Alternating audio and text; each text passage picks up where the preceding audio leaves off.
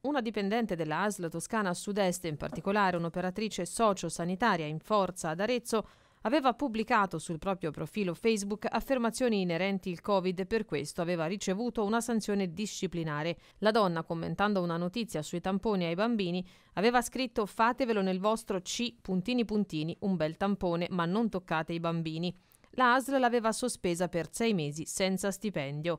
Una sanzione tanto ingiusta quanto sproporzionata, secondo il giudice del lavoro del Tribunale di Arezzo che aveva reintegrato la donna. Oggi la decisione da parte dell'azienda sanitaria di impugnare di fronte alla sezione del lavoro della Corte d'Appello di Firenze la sentenza.